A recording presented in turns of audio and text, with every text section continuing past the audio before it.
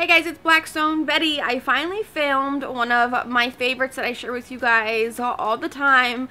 These are a family favorite here. Friends and family ask for these all the time. For every birthday party, pool party, family gathering that I have, I make these. They're super easy, six ingredients, you can't beat that and you can prep them ahead of time for parties and stuff you're gonna love them before I show you be sure to go to the Blackstone Products YouTube channel, click that subscribe button, click the bell, and then you'll never miss a recipe so that you can try them at home for your family gatherings and parties. Now, these are my party pleasing mini stuffed party peppers. Trying to say that five times fast.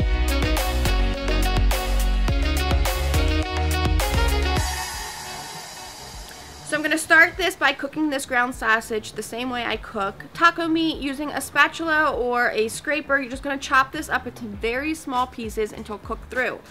Once it's done, I'm to pull it off and drop it into a bowl with some cream cheese.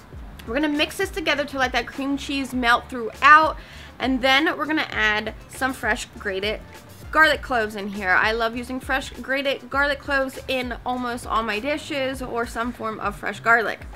So once that cools down just a bit, we're to add in our Parmesan cheese and then we're to add in our Mexican blend cheese.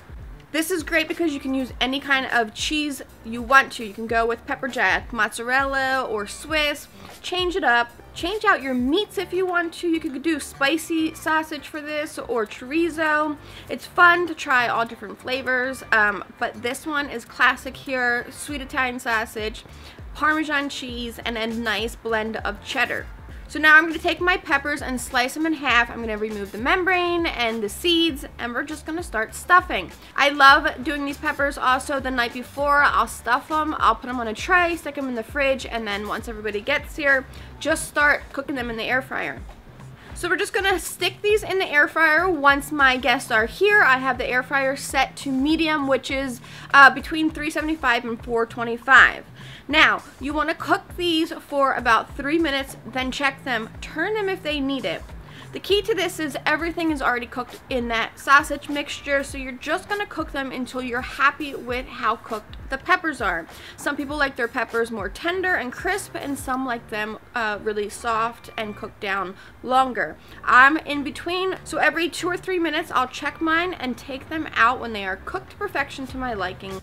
Then I'm just to plate these up and watch them start to disappear. Everybody in my family absolutely loves these. They disappear in seconds. My mom fights over who gets one first. She loves them.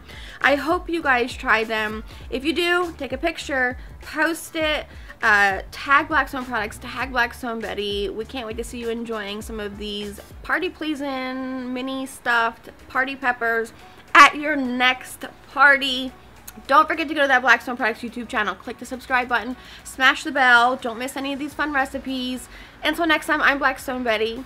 Always hungry, always ready for a party, and a party pleasing appetizer.